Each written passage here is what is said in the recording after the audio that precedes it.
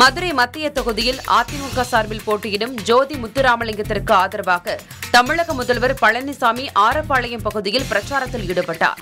ஸ்டாலின் செல்லும் இடமெல்லாம் அதிமுக அரசையும் அதன் கூட்டணி கட்சிகளையும் குறை கூறி வருவதாகவும் யாருக்குமே தெரியாத முதல்வர் என கூறும் ஸ்டாலின் தன்னை பற்றி ஏன் தினமும் பேசிக்கொண்டே இருக்கிறார் எனவும் கேள்வி எழுப்பினார்.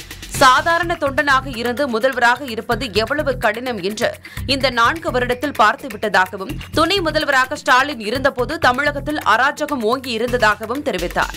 வைகை ஆற்றின் இருபுறமும் சாலைகள் அமைக்கப்பட்டு மதுரை மக்களுக்கு இருபத்தி நான்கு மணி நேரமும் குடிநீர் வழங்குவதற்காக ஏற்பாடு செய்யப்பட்டுள்ளதாக குறிப்பிட்ட முதல்வர் தமிழக வரலாற்றில் சட்டமன்ற கூட்டத்தொடரில் ஒரு நாள் கூட விடுமுறை எடுக்காமல் அனைத்து நாட்களும் பங்கேற்ற ஒரே முதலமைச்சர் தான் தான் எனவும் தெரிவித்தார்.